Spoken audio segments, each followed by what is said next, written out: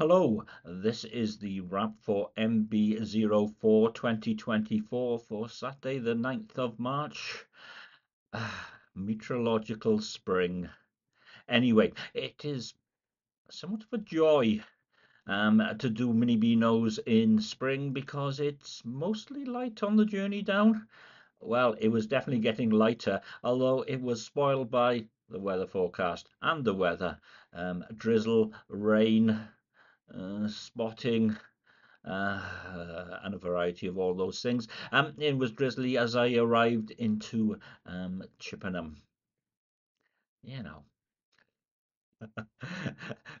Hmm, okay, so um, yeah, uh, right, parked up, and then went to Sainsbury's, grabbed some food.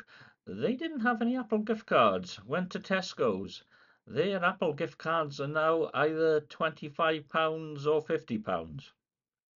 There used to be you can pick anything you want from £10 to £200. I don't know what that is about.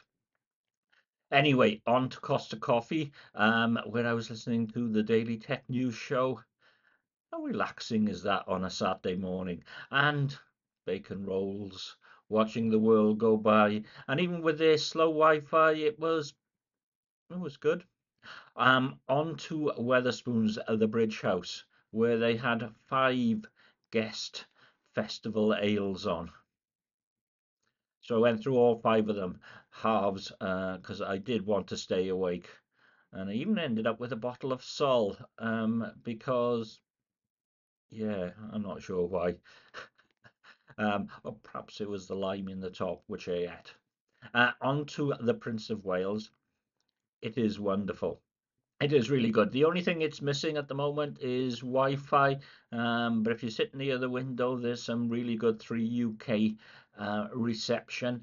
Uh, I was talking to the guy there. He is opening another, well, a pub in Chippenham, um, which will be over a number of floors, which will do lots of craft ales. And that's coming in July. The more I come here, the more I like this place. Um, uh, I'm always doing good stats for Untappd uh, you know. Anyway, um, the Travelodge. The Travelodge is located just by the railway station. Another plus point. Um, uh, the rooms are really nice. It's new. The Wi-Fi is adequate, but could be a lot faster. So it was a 1080p upload. And this one, this one will be uploaded when I get home.